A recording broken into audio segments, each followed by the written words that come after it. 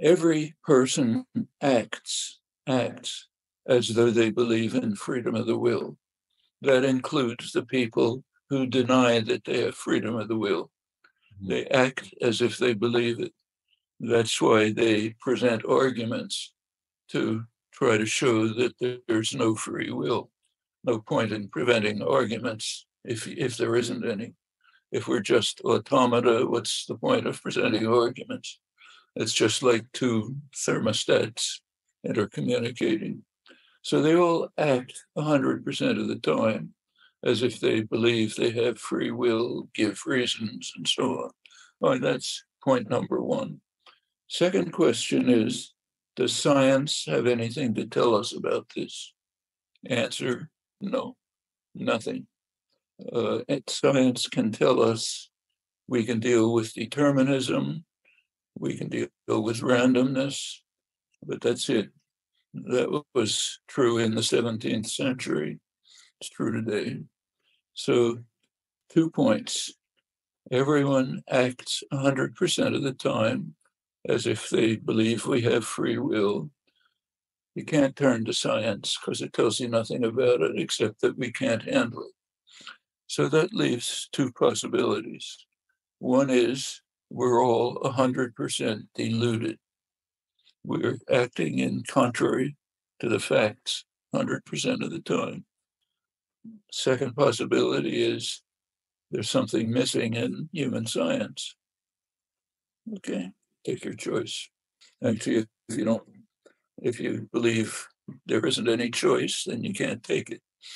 Uh, but uh, the way everyone acts, they can act as if they have a choice between mm. those alternatives. It mm-hmm. doesn't matter much what the sophisticated theories tell us. This is essentially what we're left with.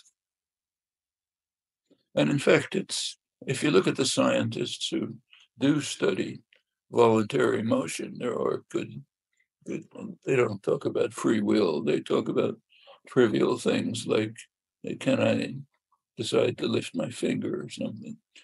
And their conclusion, I think maybe we've discussed this, I don't remember, but if you go to people like uh, Emilio Bizzi, uh, Robert Ajemian, the major scientists who deal with this, they have a state of the art review in the Journal of the American Academy of Arts and Sciences, in which they go through what's ever been what's been learned about controlling the minimal activities, eye blink, lifting your finger, mm. and then they say, they say, as they put it, we'll put this fancifully, and what they say fancifully is, we've been done, we've come to understand something about the puppet and the strings, but we have nothing to say about the puppeteer.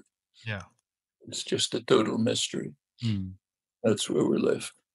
So, when you talk about free will, let's say libertarianism, compatibilism, and maybe a hard incompatibilism, how do these approaches navigate morality? This is such an important topic, I think, as part of this niche to distinguish the questions of free will from the questions of moral responsibility. Those are different topics. I mean, they're related but distinct. Uh, almost all the uh, philosophical tendencies that you just mentioned almost entirely are concerned with questions of moral responsibility. They're not concerned with the question of can I decide to lift my finger? Mm-hmm. That's the question of freedom of will.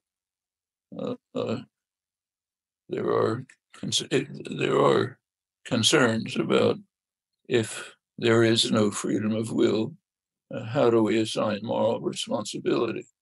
Well, that's a question you can ask, but uh, it's only a meaningful question for those who think there's no free will. Mm-hmm. And in my opinion, nobody has that opinion.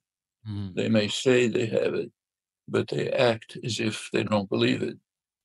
what I'm interested, I don't really care what, I don't think it's interesting what people think they believe. Hmm. I think what's interesting is what they do believe.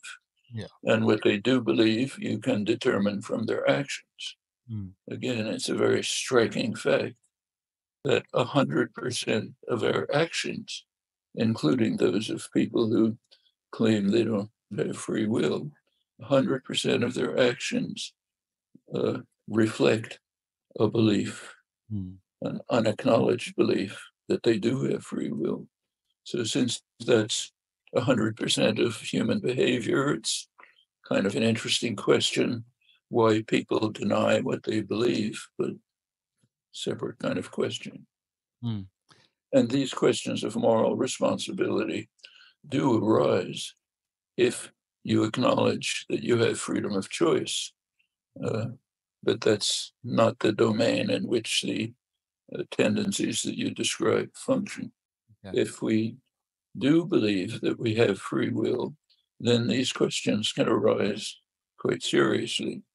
If we claim, hypothetically, that there's no free will, then you get into complicated philosophical questions. But I don't personally see much point in exploring them because they're based on a hypothetical assumption which doesn't apply. It's an amusing discussion in your free time if you have nothing else to devote yourself to. I don't find it very interesting. I mean, there is an interesting, if you like, metaphysical question. Uh, do we have free will? Uh, well, again, we're left with what I said before. We always act, everyone, as if we have free will. Science tells us nothing about it.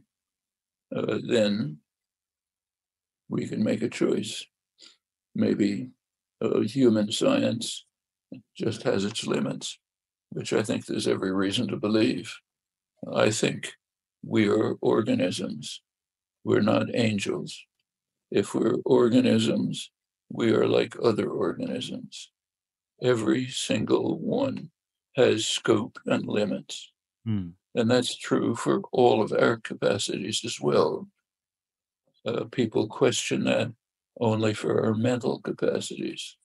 I don't see why those should be uh, different from any other capacity. Hmm. In the case of every other organism, their cognitive capacities has scope and limits. In the case of humans, metaphorically speaking, below the neck, you know, meaning we everyone agrees, yes, we have scope and limits. There are those who claim, in fact, it's a huge number, maybe most philosophers, that up here something escapes uh, the natural world. It's a kind of methodological dualism, Hmm. which I see no reason to accept. It seems to me much more pernicious than traditional metaphysical dualism, which was, in fact, normal science. Take a look at Descartes, it was simply normal science. Instead, he could try to argue that everything in the world has a mechanical explanation, including most things about human beings. But then he noticed correctly, in fact, that there are certain aspects of ordinary human life which don't have a mechanical interpretation. Uh, for me, particularly interesting is that one of the main ones in the discourse is just what you and I are now doing the ability to carry out uh, normal conversation with others, uh, creative, making up new expressions, new thoughts, maybe never occurred in the history of the world, and able to allow others to uh, comprehend the inner workings of our minds by means of verbal communication. He argued that that's beyond the bounds of mechanical uh, explanation, and therefore, like any good scientist, postulated a new principle in his metaphysics, a new substance, res cogitans. Well, it turned out he was wrong. Hmm. Turns out there isn't a mechanical explanation for anything. So, in particular, not for normal verbal interaction. Uh, well, that left us, that's Newton basically, showed there's no mechanical explanations for anything in the world. Uh, he regarded that as a complete absurdity, but, but he was stuck with it. Uh, then, very quickly, within a couple of years, in fact, came John Locke, who said, Yes, Mr. Newton has demonstrated to us that the what we call the material world has properties we can't comprehend. We're just it's just a fact. So maybe organized matter, whatever or matter turns out to be, has the property of generating thought. Yeah, that's I think the answer to the question. Don't think it's been improved on since. So that's what we're left with. We have scope and limits like everything else in the organic world. And it may be that the explanation for the freedom of will that all of us act as if we believe we have. Maybe it's just beyond human cognitive capacities. If so, it wouldn't be unique.